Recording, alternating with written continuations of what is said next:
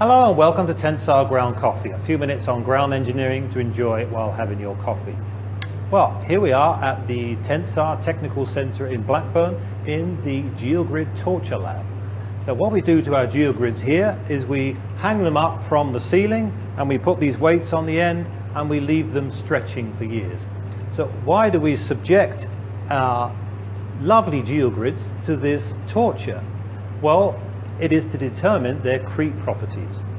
So the, these polymers, these geogrids, under a sustained load, they do have some creep strains. So they will continue to extend just a little bit under a sustained load. So when we have these installed into uh, a structure or a slope, so a structure such as mechanically stabilized earth wall, the design life could be as much as 120 years. So we need to know uh, how that grid is going to perform over the, that full 120 years. So one way to do that is with creep testing. So you leave these geogrids hanging for as long as possible and you measure the extension over time. Now, the relationship between uh, strain and time follows a log time relationship. So if we can get the testing up to 12 years, that's only one log cycle short of the 120 year design life. So that's only a little bit of extrapolation. So it's good to get up to 12 years. So some of these have been here for over 12 years. So these ones, for example, actually started in 1994. So well over 12 years. They did 12 years at the previous lab, then the lab had to move. That's the worst thing to happen to a creep lab, is to have to move. So you have to unload everything, take it to the new lab and reload. So strictly these tests aren't compliant anymore, but for academic interest, we do continue to load them. And we saw that when we reloaded them, the, the load, uh, the deflection curve did return to the same course uh, that was followed previously. So we're getting a lot of useful information from these ones. So those ones were reloaded, but we do have other ones that have been loaded for over 12 years uninterrupted, such as these ones here.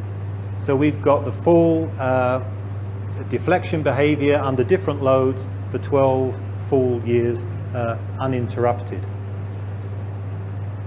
And then it's, uh, so what you can do with, um, with that data, as I say, you can extrapolate it for 120 to 120 years, but if you need uh, if you need that information earlier, then you can test at higher temperatures. So we actually have labs here.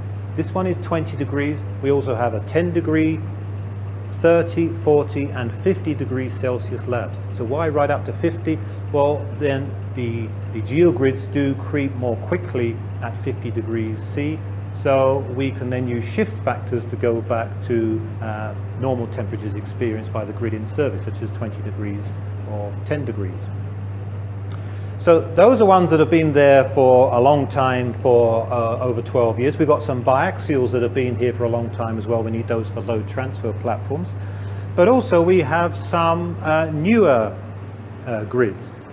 So here's a sneak preview of uh, a future generation product that will be uh, used in walls and slopes. So we like to get the creep testing done as soon as possible so we start getting that data and we can use the shift factors to predict the behavior over long periods of time so that can go into, uh, into the design methods so that we can design uh, structures with these new products. And some of them are loaded really heavily. So this one, for example, 780 kilos here. So that's three quarters of a ton on three strips of plastic. So this product really is stronger than it looks. Okay, I hope that's given you a useful overview of the Creep Lab here at Tensar. Uh, that's all for this episode of Tensar Ground Coffee. Thanks for watching and see you next time.